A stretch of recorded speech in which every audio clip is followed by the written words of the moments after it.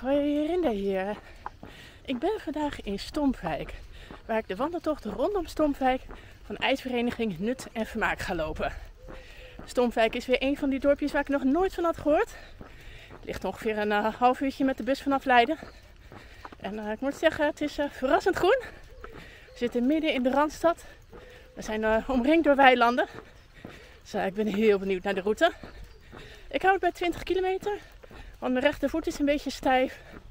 En uh, Nieuw-Zeeland komt toch dichterbij, dus ik kan me nou geen blessure meer veroorloven. En uh, bij de start ging ook een kaart. En de 30 had niet zo heel veel meerwaarde, denk ik, boven de 20. Dus uh, ik ben heel benieuwd. Ik laat me verrassen aan de wandel.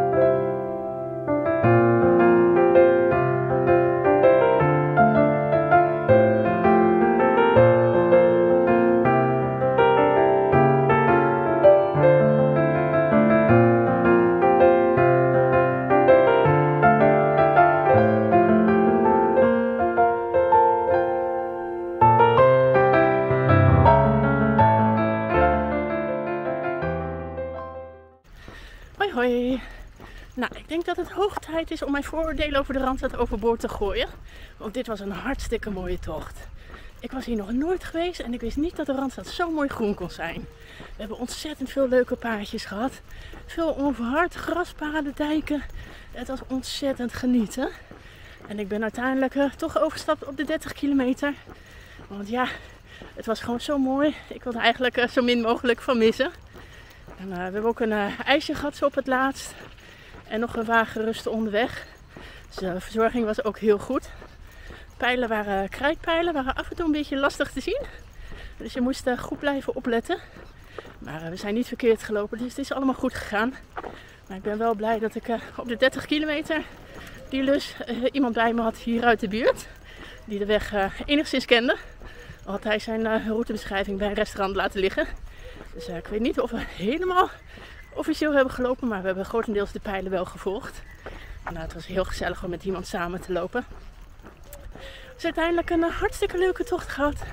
Enorm genoten. En uh, misschien kom ik hier nog wel eens terug. Tot de volgende wandeling.